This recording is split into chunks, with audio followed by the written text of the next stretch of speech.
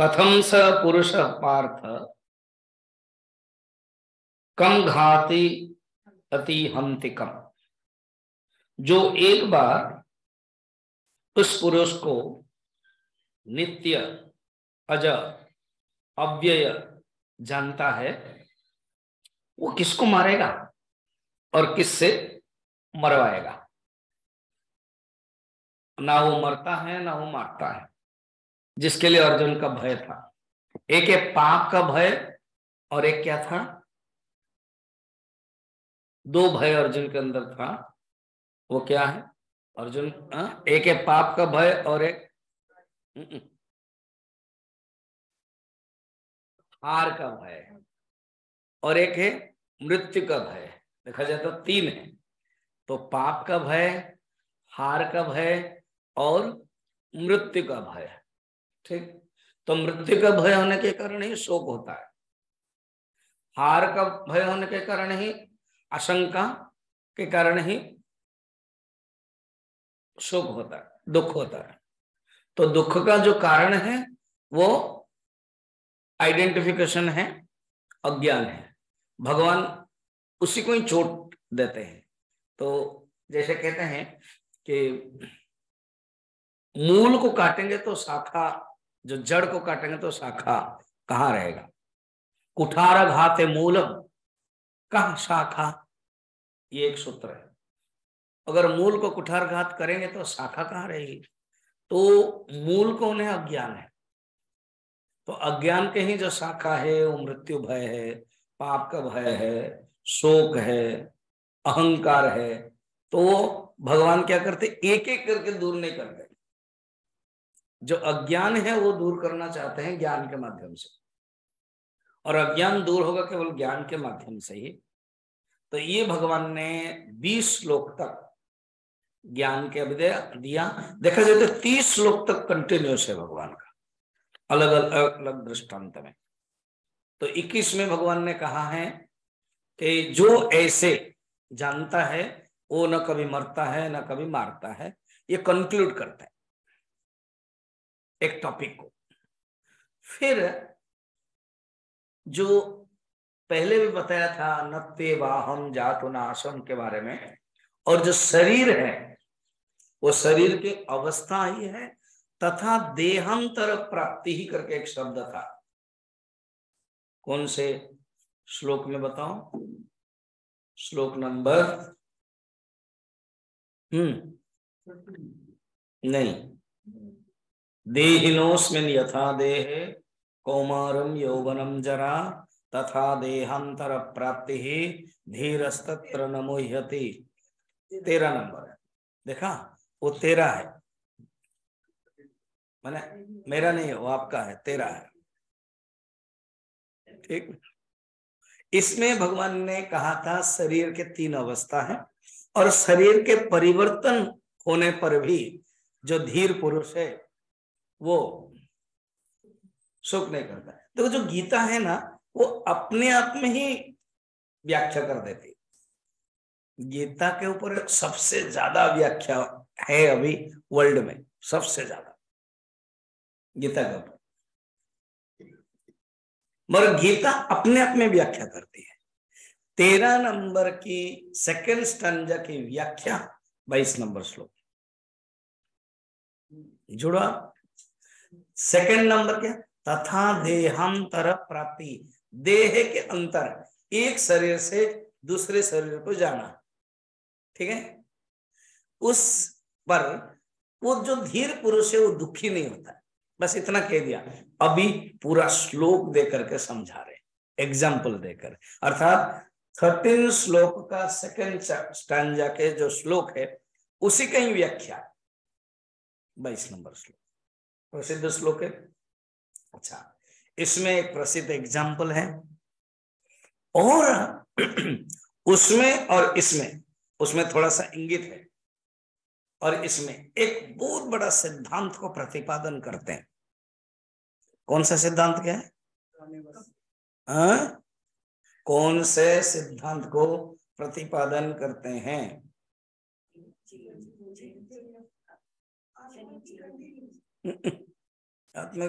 तो नत्ती वो भी है। मगर अभी कौन सा सिद्धांत को प्रतिपादन करते हैं? बाईस नंबर श्लोक में। वो तो एग्ज़ाम्पल हो रहा है। सिद्धांत। Very good theory of reincarnation पुनर्जन्मवाद। अर्थात एक के बाद मनुष्य जब मरता है फिर क्या होता है? जन्म लेता है। पुनर्जन्मवाद इस श्लोक में सिद्धांत प्रतिपादन किया जाता है।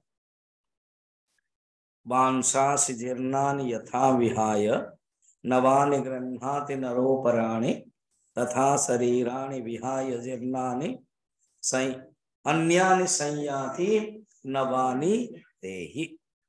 कैसे यथा, जैसे नरह मनुष्य नरह जीर्णानि जीर्णानि माने फटे हुए। जो फटे हुए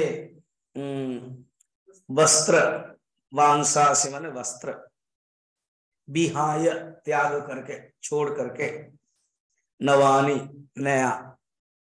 फिर बताया नहीं, क्योंकि वस्त्र ही माना जाएगा। नया वस्त्र ग्रहण करता है, गृहणाति ग्रहण करता है। वैसे ही देही, माने आत्मा जीर्णानी शरीराणी विहाय। जीर्ण शरीर को त्याग करके अन्यानी नवानी, अन्य शरीर, नया शरीर को लेता है। तो पुनर्जन्म जो सिद्धांत है, छह प्रकार के सिद्धांत होते हैं। Six fundamental principles of Hinduism Sanatan Dharma. है? नोटबुक में है? नहीं, है, बताया गया था। छह सिद्धांत है। फंडामेंटल सिद्धांत। हिंदुइज्म दैट इज़ सनातन धर्म, एक किताब है हमारा सीसीएमटी में। सनातन धर्म जो हिंदू धर्म है, उसमें है। छह प्रकार का सिद्धांत। बताओ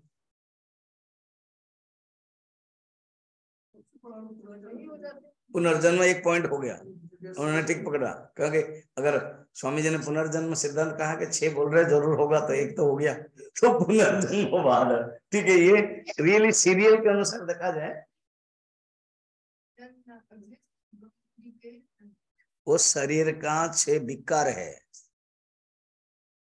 शरीर का सिक्स मॉडिफिकेशन हम बोल रहे हैं six fundamental principles of Hinduism बहुत बड़ा है। नहीं, वो है दर्शन।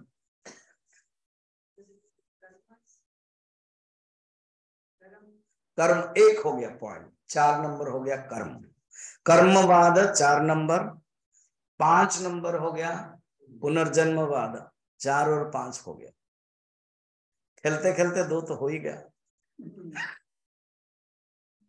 नंबर वन सिद्धांत है एकम एव अद्वितीय ब्रह्म हिंदू धर्म सनातन धर्म एक ही परमात्मा का स्वीकार करता है एक ही सत्ता ये है कि नंबर वन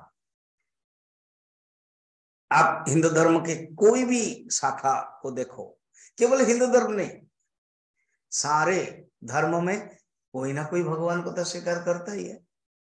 तो परमात्मा एक है। अनेकवाद नहीं एकवाद इसलिए उसको बोलते हैं अद्वैतवाद। स्वीकार करते एक। दूसरा है हाँ कुछ आ रहा है। दूसरा, फेंको कुछ, फेंक सकते हो। वो वो एक हमारे जो क्रिकेट के हैं, विराट कोहली, उसको पूछा जा रहा था कि आपके टीम में कौन फेंकता है?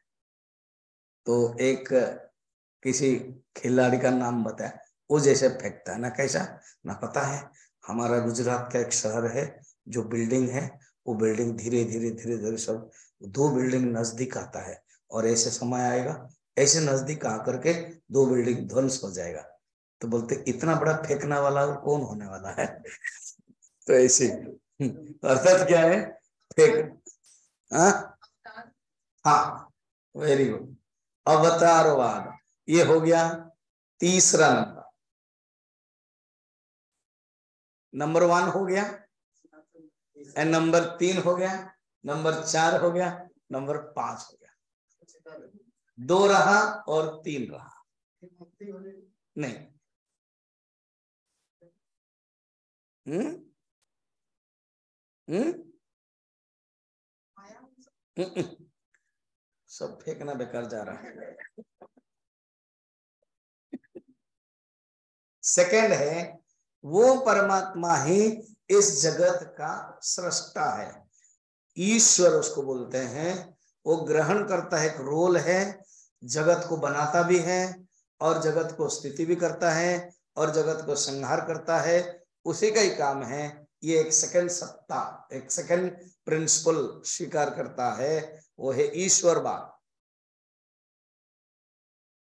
हो गया? एक, दो। तीन है जो अवतारवाद। वही ईश्वर ही आते हैं जब जब यदा यदा ही। हाँ ये फेंकना नहीं है, ये सही है।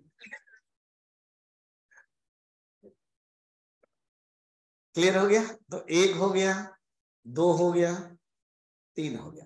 कोई कोई सिद्धांत लोग मानते हैं, ये जो दो और तीन एक कर दिया जाता है कि वो ईश्वर ही और जब जब आवश्यक होता है वो अवतार लेता है। फिर तीन में माना जाता है जीव और ब्रह्म का जो संबंध है, तीसरा। अर्थात जीव परमात्मा का ही अंश है और देखा जाए तो जीव तत्वतः परमात्मा ही है। जीव और ब्रह्म अभिन्न है।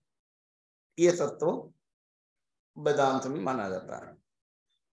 एक हो गया, दो हो गया, तीन हो गया, चार हो गया, पाँच हो गया, है ना? पाँच हो गया? पाँच नहीं हुआ, पाँच तो वही, वहीं से तो शुरू हुआ था। पाँच से तो शुरू हुआ था। अब छठा है, ये पाँच सिद्धांत कहा है? ना वेद में है। वेद को प्रामाण्य के रूप में स्वीकार किया जाता है। तो ये हो गया छ fundamental principles of Hinduism Veda को स्वीकार करते हैं। छठा नंबर है। क्लियर तो आप देखो कि इन छह के बारे में, छह माने, छठा जो है, वेद है प्रमाण। इन पाँचों के बारे में ये गीता में भी है। अब ये पांचवा नंबर है। फिर कर्मवाद भी है। अब आगे बीच बीच में कर्मवाद आएगा।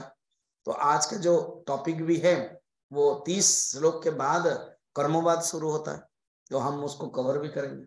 अब आगे हम बढ़ते तो वांसासी यथा विहाय, नवानि गृहाति नरोपराणि, तथा शरीराणि विहाय जीर्णानि, अन्यानि संयाति नवानि देहि। क्लियर अब प्रश्न है। जो जीवात्मा है, ये शरीर को छोड़ देता है, दूसरा शरीर को पकड़ता है। क्लियर तो पहले शरीर को छोड़ता है और उसके बाद दूसरे को पकड़ता है। इसके लिए उपनिषद में बृहदारण्य को उपनिषद में कहते हैं कि वो कैसे करता है, एक है जोंक का उदाहरण। जुल्लू का न्याय बोलते हैं वो क्या करता है, जब उसको जाना है, प्रत्येक जीवात्मा, इवन हम लोगों को जब जाना पड़ेगा ना, हमारा जो सूक्ष्म शरीर में यहाँ से वो विरक्त हो जाएगा। पहले कोई बोलता है ना, जब हाँ इच्छा नहीं हो रही है, अब वो मरना है ज़िंदगी जीने का क्या फ़ायदा है? क्यों? अरे कुछ भी खा नहीं पाते हैं, और जो भी खाते हैं तो हजम ही नहीं होता है। तो वो जब ऐसे ऐसे व्यवहार में बोलता है तो इसको जाना है। तो कभी ना कभी वो जाएगा। तो एग्ज़ाम्पल दिया जाता है बृहदारण्य उपनिषद में, एक नदी है। उसमें एक पत्ता बह रहा है। उस पत्ता के ऊपर एक जोंक है। जलूक बोलते हैं संस्कृत में, वो जोंक है। उस पत्ते में जो कीटाणु है, वो है, वो सब उसने खा लिया। और वो पत्ता बहुत तरंग में बह रहा है। उसको एक सुरक्षित जगह जाना है। वो दूसरे पत्ते में जाना चाहता है। वो बाहर आना चाहते हैं। तो देखेंगे दूसरा पत्ता भी है तो वो क्या करता पहले उसका जो पैर है फ़र्स्ट सेकंड फ़र्स्ट जो पैर है, उसमें वो लगाता है। तब तक ये उठाता नहीं है सेकंड वाला पैर। वहाँ वहाँ लगाया नहीं है और यहाँ उठा दिया, तब तक यह पानी में ही चला जाएगा।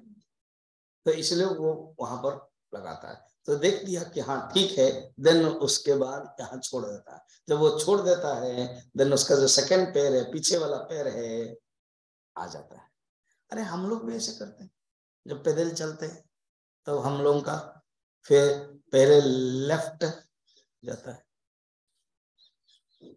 एनसीसी में भी मिलिट्री में भी। लेफ़्ट बस लेफ़्ट करके इतना ही। फिर नीचे रखने के लिए भी एक स्लोगन होता है। उठाने के लिए एक स्लोगन होता है, नीचे रखने के लिए स्लोगन होता है। फिर राइट को उठाने के लिए एक स्लोगन होता है। उठा दिया, मगर रखा नहीं। देन यहाँ पर सोचो तो कल्पना करो। जो स्काउट एनसीसी गाइड में अगर भाग लिए होंगे तो जानते होंगे। कहते ऐसे ही है जीवात्मा क्या करता है? सूक्ष्म रूप में, वासना के रूप में उसके वहाँ चला जाता है पहले। कहा वो जाना है। अच्छा हम लोग ऐसे भी करते हैं। जैसे घर है। एक घर बेचते हैं, दूसरे घर खरीदते हैं। तो पहले जब घर खरीद देते हैं तो फिर तुरंत क्या घर बिना खरीदते ही इस घर को छोड़ देते हैं क्या? फिर रहेगा कहाँ? आकाश में। इसलिए घर खरीदते हैं, रखते हैं सेटिंग फिर ब्राह्मण बुला करके पूजा करते हैं। ग्रह प्रवेश करते देन वहाँ जाते हैं, सामान लेते हैं, इसको छोड़ देते हैं। ऐसे जीवात्मा करता है। बड़ा सुंदर बताया। अच्छा क्वेश्चन आएगा। क्या? अच्छा इसमें एग्ज़ाम्पल में पुराना वस्त्र छोड़ करके नया वस्त्र लेते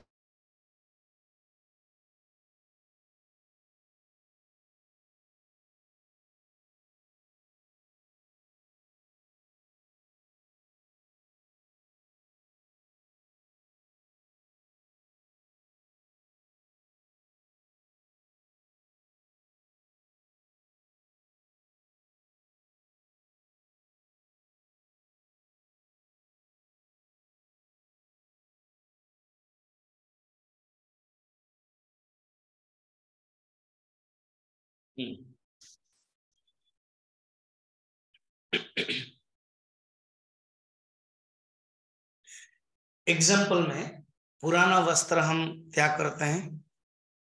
तब नया वस्त्र लेते हैं। अब प्रश्न होगा, ऐसे जब कभी कभी बच्चे जब मर जाते हैं तो उनका तो शरीर पुराना नहीं, हुआ नहीं। वो तो नए अभी अभी जन्म हुए। तो वो कैसे एग्ज़ाम्पल होगा फिट उत्तर ये है, शरीर बालक है, मगर उस बालक अवस्था में उस जीवात्मा को भोग करने के लिए इतने ही है। माने इस शरीर में पाँच साल ही दो साल ही एक साल ही भोग करेगा। एक साल जब भोग कर लिया, उसके लिए वो पुराना हो गया। समझ में एक एग्ज़ाम्पल सुनो अष्ट बसु अभिशाप मिला। वशिष्ठ ने अभिशाप मिला। गंगा के पुत्र के रूप में शांतनु के माध्यम से जन्म होंगे तो ये सब कौन है? वसुदेवता। बस जन्म होते ही बस गंगा क्या करते थे? पानी में डाल देते थे। इसका अर्थ क्या? जन्म होना शरीर, पृथ्वी, मनुष्य का शरीर धारण करना, ये अभिशाप हुआ था। बाद में उन्होंने माफ़ी मांगी थी तो क्या जन्म तो होना पड़ेगा। और उधर गंगा को भी अभिशाप मिला है, उसको भी पृथ्वी में आना है, किसी एक राजपुरुष के साथ। इसीलिए तुम लोग उसमें जाओगे, जन्म होते ही वो गंगा में डाल देगी तो मुक्त हो जाओगे। तो उनका जो शरीर है, ऐसे देखा तो जन्म जाता है, अभी अभी जन्म हुआ है, मगर वो जन्म लेते ही शरीर में भोग करने के लिए सिर्फ़ एक ही दिन होगा। जन्म हुआ और चले गए। इसलिए बांसा से जिरनाने का अर्थ है, जीवात्मा शरीर में रह करके कितना दिन भोग करता है। भोग अगर बचपन में चला गया, उसका अर्थ है उसके लिए वो पुराना शरीर हो गया। उसके लिए इतना ही है। अब जैसे हम फ़्लाइट में बैठते हैं, सिर्फ़ दो घंटा के लिए ही बैठते हैं वहाँ। हमारे दो घंटा के लिए ही लिया गया है हम, ज़्यादा नहीं है। ट्रेन में बैठते हैं, दो दिन के लिए लिया गया है। घर में बैठते हैं, सेवेंटी एटी ईयर्स के लिए लिया गया है। समझ में आ गया एग्ज़ाम्पल ऐसे। तो ये हो गया, आगे चलते हैं हम। एग्ज़ाम्पल सिद्धांत बता दिया था।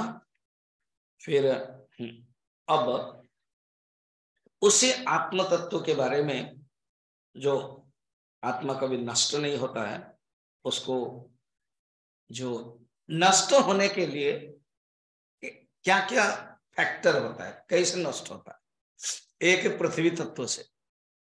कोई वस्तु है। खड़ग से हम काटते हैं, टूट जाता है तो कहते हैं नष्ट हो जाता है। तो पृथ्वी तत्व से बना खड़ग, छोरा से तो पृथ्वी तत्व से नष्ट होता है। सेकंड है पानी। पानी गीला कर देता है। पानी उसको नष्ट करा देता है। होंगे कोई चीज़ है सूखा सूखा खाना है और पानी डाल दिया तो गया, नष्ट हो गया। खा नहीं सकते। तीसरा है अग्नि। अग्नि जला देती है। चौथा है वायु। इन चारों तत्वों को देते हैं। इन चारों तत्व से ये पदार्थ नष्ट होते हैं। मगर जो आत्म तत्व नष्ट नहीं होता है। तेईस नंबर। नयनम छिंदंते शस्त्राणी। जो शस्त्र है, जो चाकू है, खड़ग है, उस वो पदार्थ को नष्ट करता है, काटता है। छिंदंत मैंने काटना। मगर आत्मा को नहीं काट सकता। दहति पावक। पावक जो अग्नि है, उसको जला नहीं सकता है। आप जल है, उसको गिला नहीं कर सकता है। और जो मारुत है, पवन है, उसको नहीं कर सकते। क्यों? कारण क्या? उसको बोलते क्योंकि आत्मा, अभी नेक्स्ट चौबीस में बताते हैं। चौबीस और पच्चीस में आत्मा के लक्षण, लगभग आठ लक्षण बताते हैं, आठ नाम है। आप चौबीस और पच्चीस में देखोगे, इन सपोज़ इन दो श्लोक को लिया, बस आठ नाम जो है, उसको एक एक एक्सप्लेनेशन किया, उसका अर्थ तो हो जाएगा। तो यहाँ पर बताते क्या क्या देखना। अच्छेद्य, क्योंकि आत्मा अच्छेद्य। उच्छेदन नहीं कर सकते। अदाय, वो जला नहीं सकते। अक्लेद्य, गिला नहीं कर सकते। सुख नहीं सकते हैं, सुखा नहीं सकते हैं। और वो तीन गया नित्य सर्वगत स्थान हो अचलोयम सनातन। वो नित्य है, सर्वगत है और स्थानु है, अचल है, सनातन है। फिर आगे बताते हैं, अव्यक्त है, अचिंत्य है, अविकार्य है। वो अव्यक्त है, अचिंत्य है, अविकार्य है। इसलिए तस्मात देर जहाँ जहाँ तस्मात आता है तो जानना कि भगवान इसको, इस टॉपिक को, इस धारा को, इस थॉट्स प्रोसेस को कंक्लूड करना चाहते हैं। तस्मात मन देर इसलिए इसको आत्मा को जान करके शोक नहीं करता है। ये बताया। फिर उसके बाद भगवान के जो श्लोक के प्रवचन के जो तरीका है, ये आत्मा कभी नष्ट नहीं होती है, ये बताया। कुछ लोग आत्म तत्व के बारे में अलग अलग दर्शन देते हैं अलग अलग सिद्धांत बताते हैं। एक सिद्धांत है आत्मा, हर क्षण मरता है और हर क्षण जन्म लेता है। ठीक है? हालाँकि बाद में ये भगवान बुद्ध देव के नाम पर यह सिद्धांत आया। क्षणिक बुद्धवाद, क्षणिक विज्ञानवाद। मगर ये देखना, क्षणिक विज्ञानवाद ये जो वार है, ये शब्द है, ये बुद्ध देव के समय में आया। मगर उसके पहले वेद में, उपनिषद में, आत्मा के बारे में, इस व्यवहार को देख करके जैसे नदी का प्रवाह, नदी चल रहा है। पानी बह रहा है। उसको देख करके भी एक सिद्धांत होता है, अभी का जो पानी है, वो नेक्स्ट क्षण में नहीं रहता। बोलते हैं नित्य प्रवाह मान। तो आत्मा भी ऐसे ही, कुछ लोग ऐसे मानते हैं। जो दीप के लौ है, वो जलती रहती है। हर क्षण नष्ट होते हैं और हर क्षण पैदा होता है। आप ये कल्पना करो जब दीप के लोह है, दीप जल रही है तो नष्ट होगी बत्ती, तभी चलता रहेगा। तो नष्ट और पैदा नष्ट और जन्म कंटिन्यू चलता रहता है। उसको बोलते हैं क्षणिक विज्ञानवाद। भगवान ने उस सिद्धांत को पकड़ा। समझा? ये ट्वेंटी सिक्स नंबर है। कहा कि, अर्जुन, तुम जो डर रहे हो ना, ये आत्मा के लिए, ये भीष्म और द्रोणाचार्य, वो आत्मा तत्व है, उनको उमर जाते हैं, तुम डर रहे हो। मान लेते हैं फॉर द टाइम भी देखो कितना सुंदर है। उसको बोलते हैं अभ्युपम गम बाद ये क्या होता है सर इतना बड़ा टेक्निकल शब्द। स्वीकारवाद सिंपल है स्वीकार थियोरी ऑफ़ एक्सेप्टेंस ओ, ऐसे हिंदी में बोलो ना। एक्स मैंने एक्सेप्ट करके जैसे कोई ना, ठीक है, आपकी बात को हम एक्सेप्ट कर लेते हैं। भगवान कितना सुंदर कहते हैं। अथ अभी। अथ च एनम। नित्य जातम अगर तुम एनम मन आत्मानम, इसको। टॉपिक चल रहा है। अगर तुम आत्मा को नित्य जात मानोगे, देखो शब्द भी प्रयोग किया भगवान ने। नित्य जात हमेशा हर क्षण जन्म होता है, मानोगे। नित्यम व मन्य से मृतम। हर क्षण जन्म होता है और हर क्षण मरता है, अगर ये स्वीकार करोगे तो भी तुम्हें दुखी नहीं होना चाहिए। क्यों? क्योंकि तुमने तो स्वीकार ही कर लिया कि आत्मा हर क्षण मरता है और हर क्षण जन्म होता है। तो फिर चिंता क्यों करते हो? अर्थात स्वीकारवाद के दृष्टि से, अभ्युपगमवाद दृष्टि से, क्षणिक बौद्धवाद दृष्टि से भी तुम्हें दुखी नहीं होना चाहिए। कि जो आया है हो जाएगा। आया राम? गया राम। इसलिए तुम्हें दुखी नहीं होना चाहिए। ये छब्बीस नंबर श्लोक के बहुत ही प्रसिद्ध वाक्य है। फिर भगवान कहते हैं सुनो देर फोर ये, ये इसके पीछे सिद्धांत क्या है समझो? जन्म और मृत्यु ये two coins two sides of a coin प्रसिद्ध श्लोक है। जात ही ध्रुवो मृत्यु ध्रुवम जन्म मृत तस्माद परिहार्थे न तुम सोच तुम रहसी जो जन्म लेता है, वो मरेगा। इस दृष्टि से तुम्हें दुखी नहीं होना चाहिए, क्योंकि ये संसार के दो साइड से जो जन्म हुआ है, वो मरेगा। तुम्हारे पिताजी नहीं है। तुम्हारे पिताजी के पिताजी नहीं है। तुम्हारे जहाँ से तुम जन्म हुए, पूरा परंपरा मनु या सूर्य वंश चंद्र वंश वो लोग नहीं है। जो जन्म होगा वो मरेगा। जात से ही ध्रुवो मृत्यु हो। ध्रुवम जन्म मृत तस्माद अपरिहार्य थे तस् न तुम सोचे तो मरा से इस दृष्टि से भी तुम्हें दुखी नहीं होना चाहिए। तो ये भगवान बड़ा सुंदर तर्क दिया। सत्ताईस श्लोक तक। फिर कहते हैं, सुनो। ये ही आत्मा के आश्चर्य मत्ता। हम्म? और एक है भगवान, अट्ठाईस नंबर में श्लोक में बताते हैं कि इस आत्म तत्व के बारे में या इस जगत के बारे में तुम देखोगे, शरीर के दृष्टि से तुम शोक करते हो ना। ये जगत के बारे में, शरीर और जगत का संबंध क्या है? जगत का ही एक अंग है शरीर। इसी के दृष्टि से तुम शोक करते हो ना? ना तुम देखोगे इसमें ये पहले नहीं था। ये शरीर हो, या तो जगत। शरीर का टोटल एक्सटेंशन जगत जगत का छोटा सा अंग है शरीर। इस शरीर को या जगत को लेकर के भगवान एक सिद्धांत बता रहे उसका नाम देते हैं भूतानी। कहते हैं, देखना। अव्यक्ता आदि भूतानी। ये जो भूत है, ये जो प्राणी है, इसमें शरीर भी आया, जिसके लिए अर्जुन दुखी हो रहे, भीष्म का शरीर, द्रोणा का शरीर, खुद का शरीर, ये अंग है तो भूतानी जो प्राणी है, जो जगत है, ये आया कहाँ से? इसका आदि जन्म होने से पहले कहा था? ना कहते अव्यक्त है। अनमैनिफेस्टेशन अव्यक्त मैंने यहाँ पर अनमैनिफेस्टेशन कोई रूप नहीं था। अव्यक्त आदि भूतानी, व्यक्त मध्यानि भारत। अभी बीच में क्या हो गया? व्यक्त हो गया। व्यक्त मध्यानि भारत। अव्यक्ता निधनानी एवं। और जो मर जाते हैं, निधनानी मैंने मर जाते हैं तो अव्यक्त में चले जाता है। तत्र का परिदेवना। हम्म?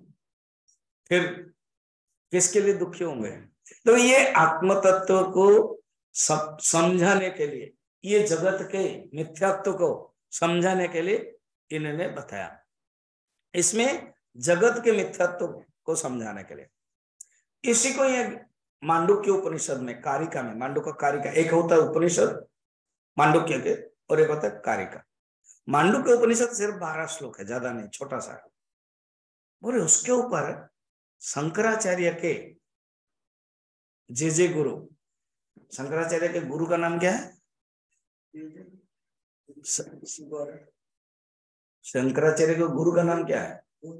गोविंद पादाचार्य, गुड। और गोविंद पादाचार्य का गुरु का नाम क्या है? अरे गौड़ पादाचार्य, तभी तो जय जय गुरु हो गए। तो शंकराचार्य के जय जय गुरु का नाम है गौड़ पादाचार्य। उन्होंने कारिका लिखा, लगभग चार सौ से ज़्यादा श्लोक लिखा उसके ऊपर। गुरुदेव ने प्रवचन दिया है मांडोक के उपनिषद, इन्हीं के ऊपर है। इंग्लिश में। उसमें एक श्लोक कहते हैं आदि नास्ति वर्तमाने तत्तथा कहते जो आदि में नहीं था और अंत में नहीं होगा, देखा जाए तो वर्तमान में नहीं है। कल जो हम बता रहे थे आपको मिथ्या और असत के बारे में।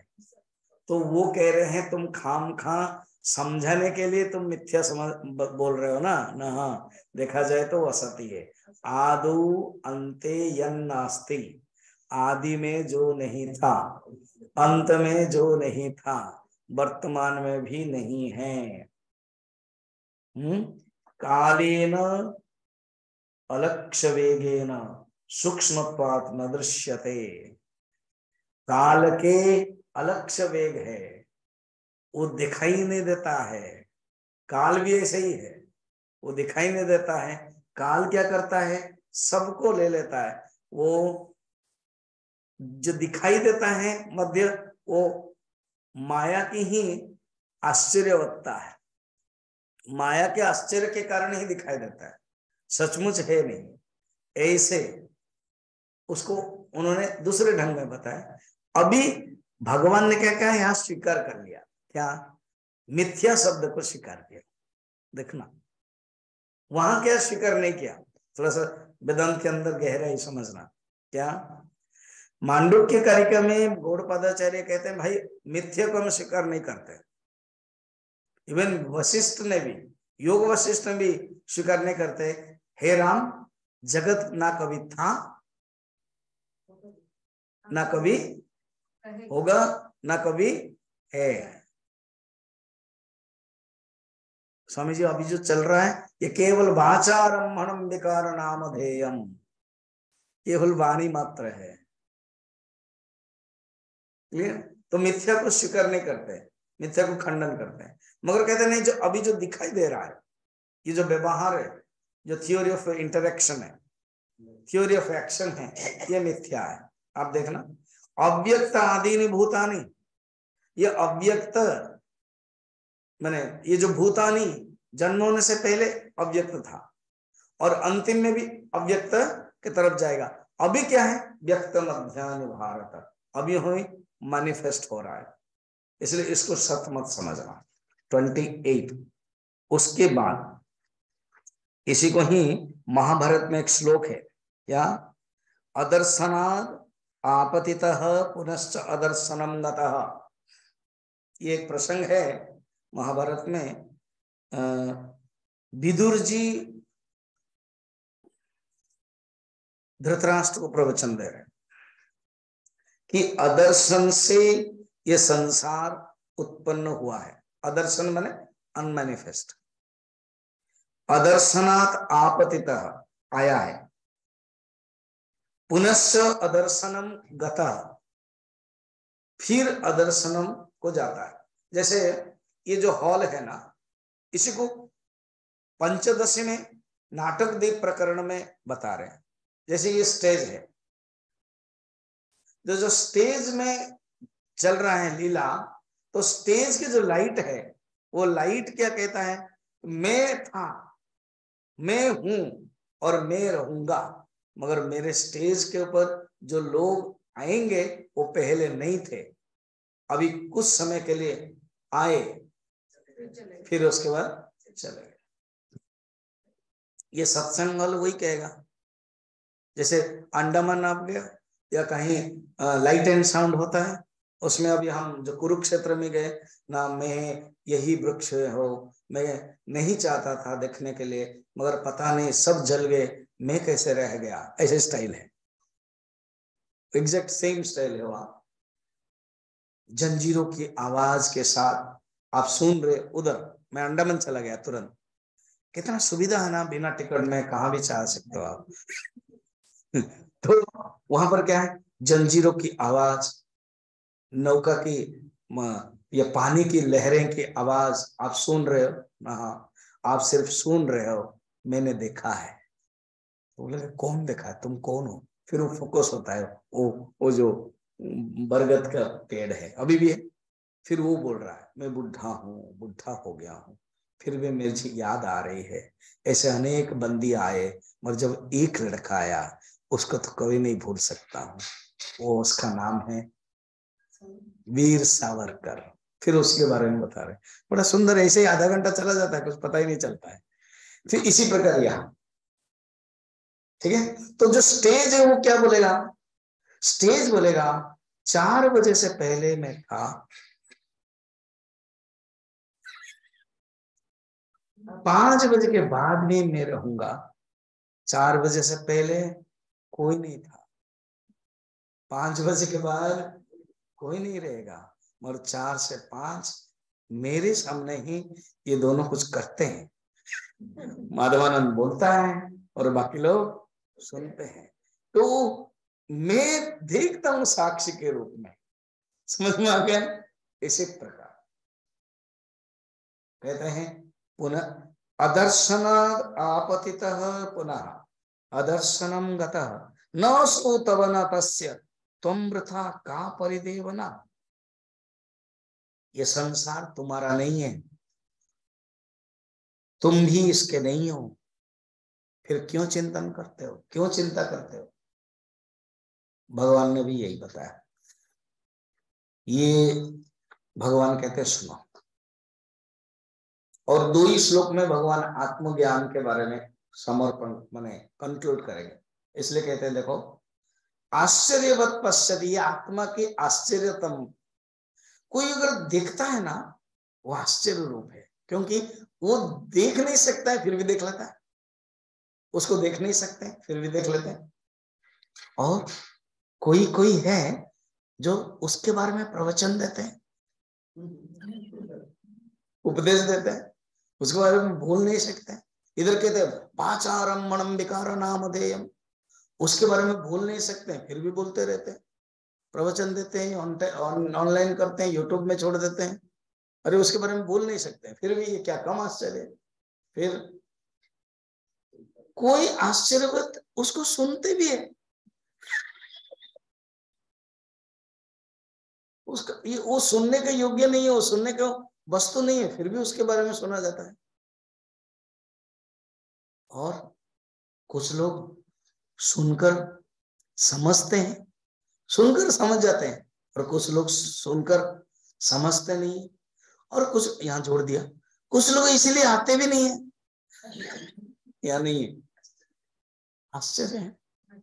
कुछ लोग एक दिन आके दूसरे दिन आते नहीं है। क्यों तो भी आश्चर्य है सब कुछ आश्चर्य ही है। तो उसको कोई सुनकर भी आत्मा को नहीं जानते। ये लिखा हुआ है सचमुच हाँ, देखो ना श्रुत्वापि वेदन चैव कश्यते। कोई सुनकर भी समझ में नहीं आता है। तो भगवान जानबूझ करके इस आत्म तत्व के आश्चर्य पुनः बताया। और लास्ट में बताया, सुनो, कि इसीलिए भगवान के जब भी कंप्लीट करना चाहते हैं कंक्लूड करना चाहते हैं तो भगवान कहते हैं तस्मार तो ये तीस नंबर श्लोक बड़ा प्रसिद्ध है। देही नित्यम अबोध्य ये जो शरीर के अंदर देही रहता है, वो नित्य अबद्धोयम, देहे सर्वस्व भारत तस्मात अगेन तस्मात। देखो इतने में कितने बार तस्मात बोल दिया? तीन चार बार। तस्मात सर्वाणी भूतानी न तुम सोचे तो मरहसी। इसलिए तुम्हें दुखी नहीं होना चाहिए। अब भगवान तीस श्लोक से लेकर के इकतीस श्लोक से लेकर के हम्म, पूरा कंटिन्यू कर्मयोग के बारे में बता रहे हैं। वो है देखा जाए तो forty nine forty, fifty fifty श्लोक। और अभी हम तो फिफ्टी नहीं जाएँगे। अब हम कर्मी योग के बारे में बता रहे हैं। तो अभी तक जो टॉपिक क्वेश्चंस के अनुसार था नॉलेज ट्रांसफॉर्म्स लाइफ भगवान Krishna treatment the get rid of your sorrows and problems solution of your all problems and knowledge of extra sensory divine perception ये सब तीस तक था। अब जो टॉपिक है, तीस से लेकर के पचास तक तो तीस से लेकर के जो आज हम देखेंगे, वो टॉपिक है ईगोलेस एक्शन मन अभी कर्म के बारे में बता रहे हैं। क्वेश्चन समझ लो। Can action become the tool for the happiness what is the right action am I doing right action और wrong action how to do unactively action and how to do actionless action and what is your role in your life. ये जो questions है, पाँच, छह छह, सात questions है, ये सिर्फ़ पाँच श्लोक में नहीं है। अगले भी कंटिन्यू चलेगा। सब कवर नहीं हो पाएगा। अब डायरेक्ट भगवान कर्मों को दृष्टि से सोचते हैं। तो भगवान के जो लॉजिक है, वो सोचते हैं अभी तो मैंने समझा चलो एक नया टॉपिक ले लेते हैं। इस जो आत्म तत्व है, उसको भी टेबल पर रखते हैं। हो गया। भगवान कहते चलो, इसको स्वधर्म के दृष्टि से समझाया जाए। अर्जुन एक identified recognised person as a Kshatriya prince Kshatriya है, योद्धा। उस मुद्दे को ले जाए। माने जो जिस पर्सनालिटी में रहता है ना फ्रॉम नोन टू अननोन भगवान ने अभी उस स्वधर्म के दृष्टि से समझाने कोशिश कर रहे हैं। इकतीस नंबर थर्टी फ़र्स्ट के ही शुरू से ही एक शब्द दे देते हैं। क्या है? स्वधर्म अपेक्षावेक्ष स्वधर्म के दृष्टि से अवेक्ष मैंने देखने पर, स्वधर्म के दृष्टि से देखने पर भी तुम्हें विचलित नहीं होना चाहिए। धर्मादि युद्ध ये जो युद्ध है ना युद्ध धर्म युद्ध है। ये धर्म युद्ध है, ये क्षत्रियों के लिए करना चाहिए और धर्म युद्ध क्षत्रिय के लिए टूल है। देखो, मैंने क्वेश्चन रखा ना। Can action become the tool for happiness भगवान यहीं पर ही दे रहे तो तुम्हारा जो धर्म युद्ध है, ये युद्ध साधारण दूसरा युद्ध नहीं है। ये धर्म युद्ध है। अर्थात युद्ध करना ही तुम्हारा धर्म कर्म है। एक पंडित पूजा करता है तो उसका धर्म कर्म है। कोई एक भक्त है, मंदिर जाता है तो वो धर्म कर्म करता है। कोई एक साधक मेडिटेशन करता है तो धर्म कर्म करता है। भगवान कहते हैं, अर्जुन, तुम जब युद्ध करते हो ना, वो धर्म युद्ध हो जाता है। क्यों?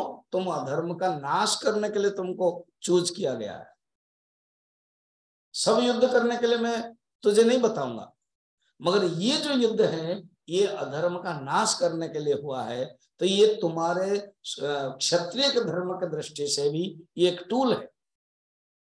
इस दृष्टि से तुमको देखना चाहिए। स्वधर्म अपिचावेक्ष न अर्सी अच्छा थोड़ा सा टेक्निकल देखेंगे। स्वधर्म, अर्थ ही, इसी को ही स्वकर्म कहते हैं।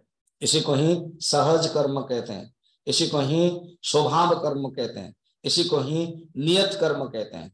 इसी को ही स्वभाव प्रभव कर्म कहते हैं। याद रखना क्या क्या मैंने लिखा, बताया।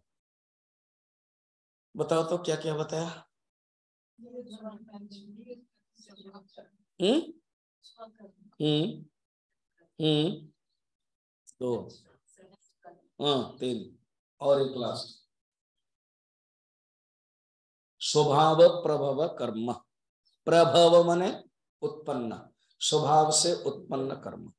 तो अर्जुन, ये तुम्हारे लिए है। इस दृष्टि से तुम अगर कर्म करोगे तो भी तो क्षत्रिय के लिए ये अनुकूल है। भगवान कहते हैं, और सुनो। अर्जुन कहते, मैंने भी पहले भी प्रश्न पूछा था। ना अभी भी मैं पूछ रहा हूँ, क्या इस युद्ध में मुझे गुरु को मारना पड़ रहा है? इस युद्ध में मुझे पितामह को मारना पड़ता है, मेरे बंधु बांधवों को मारना पड़ता है। तो ये बड़े दुख है, दुख की बात है। तो मुझे हिंसा करनी पड़ेगी। तो शास्त्र तो इधर कहता है, अहिंसा परमो धर्म। तो शास्त्र के अनुसार विरोध हो गया कि नहीं? है तो भगवान कहते नहीं। यदृक्षया चोपन्नम ये जो परिस्थिति है ना ये तुम्हारे लिए उपस्थित हुआ है। तुमने अपने मांगा नहीं है, याद रखना। एक है परिस्थिति मांगना और एक है परिस्थिति आपके सामने आना। आप उसी स्वधर्म के नहीं हो, मगर आपने चेंज कर लिया तो इसका अर्थ है परिस्थिति को आपने मांगा। मगर ये तुम्हारे स्वधर्म होने के कारण ये परिस्थिति तुम्हारे पास आया, इसलिए एक शब्द है, यदृच्छया। यदृच्छया मैंने अपने आप आया, अपने से उपस्थित हुआ। इसीलिए तुम्हारे लिए अनुकूल है, प्रतिकूल नहीं है। ठीक? आने से, तुम अगर हारोगे, तुम अगर हार जाओगे तो हार करके तुम मरोगे तो स्वर्ग जाओगे। और जीतोगे तो क्या करोगे? राजभोग करोगे। अभी केवल हारने के बारे में बता रहे यदृक्षया चोपन्नम स्वर्ग द्वार उपावृतम, सुखी क्षत्रिय पार्थ लभंते युद्ध में दृश्यम इससे भाग्यशाली क्षत्रिय को और कहीं कुछ मिलता है क्या? तुम अगर मर जाओगे तो स्वर्ग भी जाओगे। फिर इसी को इन तर्क को लंब कर रहे हैं। स्वधर्म रूप युद्ध को अगर तुमने किया है, स्वर्ग आदि महाफल प्राप्त होगी, ये दिखाकर भगवान कहते हैं अगर तुम करोगे नहीं, तुम अगर नहीं करोगे, तुम्हारा कर्तव्य तो कर्म नहीं करोगे तो महापाप होगा। अभी इसको भगवान बता रहे श्लोक पढ़ते हैं, फिर हमारे लिए इसको यूज़ करते हैं। अथ चेत तुम इम धर्म्यम संग्रामम न सरसी तुम अगर ये जो धर्म संग्राम, धर्म युद्ध नहीं करोगे, ततः स्वधर्मम कीर्ति हित्वा पापम वपसी अगर तुम ये स्वधर्म कर्म नहीं करोगे तो इससे क्या होगा? ना स्वधर्म और कीर्ति को त्याग करके, स्वधर्म तथा कीर्ति को नष्ट करके पाप का भोगी भागी तुम होंगे। तो ये भगवान ने बताया। इसका हमारे दृष्टि से भी जो अपना अपना स्वधर्म कर्म है वो अगर हम कर्म नहीं करते हैं, इसी को ही कहते हैं, अपना जो कर्म है what is your role in your life हमारा कर्म क्या है इस जीवन में? हमारा जो रोल क्या है, भूमिका क्या है? जो आप, आपको रोल मिला, पत्नी का रोल पति का रोल है एम्प्लॉय का रोल एम्प्लॉयर का रोल है, जो भी रोल मिला, उस रोल को अच्छी तरह से करना है, समझना है। फ़र्स्ट है, हमारे इंक्लिनेशन क्या है? हम कैसे जानेंगे? ये कर्म हमारे लिए सही है। हमारे लिए सही है। हालाँकि चतुर्थ अध्याय में भगवान ट्रेडिशनली बताएँगे, ब्राह्मण धर्म, ब्राह्मण, क्षत्रिय, वैश्य, शूद्र आदि बताएँगे। यहाँ पर केवल इतना ही ले लें, हमारे इंक्लिनेशन के ऊपर निर्भर है। और हमारे इलिजिबिलिटी योग्यता के ऊपर निर्भर है। तो ये दोनों हमारा कर्म में एक फैक्टर आता है। तृतीय फैक्टर आता है कि ये इंक्लिनेशन भी है और एलिजिबिलिटी भी है, मगर हम अपने लिए कर रहे हैं, स्वार्थ के लिए कर वो जो स्वाभिमान अहंकार के बात बता रही जा रही थी, अपने लिए कर रहे हैं तो वो पाप का भागी होगा, वो बंधन करेगा। और इसको हम डेडिकेशन करके कर रहे हैं, समर्पण करके कर रहे हैं तो वो कर्मयोग बन जाता है। इसलिए बीच में इसको अच्छी तरह से देखेंगे। ईगोलेस एक्शन या अनएक्टिवली एक्शन या एक्शनलेस एक्शन क्या है? कर्म में तीन डीमेरिट रहता है। याद है? बताया गया था बहुत। कर्म में तीन डीमेरिट रहता है। एक है कर्म के प्रति आसक्ति अटैचमेंट कर्माशक्ति दूसरा है फल की इच्छा। और तीसरा है अहंकार से कर्म करना। कर्ता भाव इन तीनों को जहाँ नेगेट हो गया, इन तीनों का जहाँ डिलीट हो गया, इन तीनों जहाँ नहीं है, कैसे नहीं है? एंटीडोट क्या है इन तीनों का? पहला वाला क्या था? कर्म के प्रति आसक्ति। तो कर्म के प्रति आसक्ति नहीं कर्म के प्रति अनासक्ति। सेकंड वाला क्या था? फल की इच्छा नहीं, अर्थात फल की बिल्कुल इच्छा नहीं। और फिर उसके बाद क्या था? कर्ता भाव नहीं, अर्थात सरेंडर भाव। इसी को ही कर्मयोग कहते हैं। इसी को ही एक्शनलेस एक्शनलेस एक्शन कहते हैं। इसी को ही अनएक्टिव अनएक्टिव मान सात्विक। गुरुदेव यूज़ करते हैं फोर्टीन चैप्टर में, सात्विक, राजसिक, तामसिक। Three traits T R A I T S traits उसमें सात्विक कहते हैं अनएक्टिविटी राजसिक कहते हैं एक्टिविटी और तामसिक कहते इनएक्टिविटी तो अनएक्टिवली एक्टिव अर्थात कर्म होगा, मगर उसमें अनएक्टिव अर्थात कोई अहंकार नहीं होगा, सात्विक।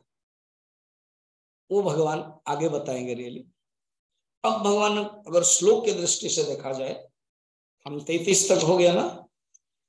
अब चौतीस। तुम अगर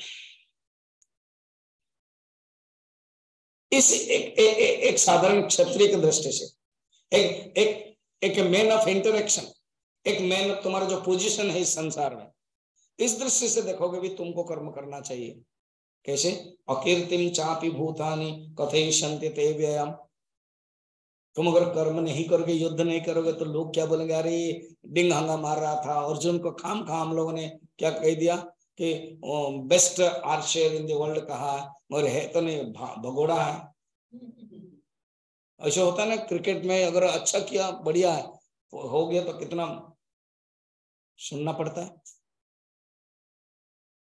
ओलंपिक में भी, और जो गेम्स में भी सुनना पड़ता है।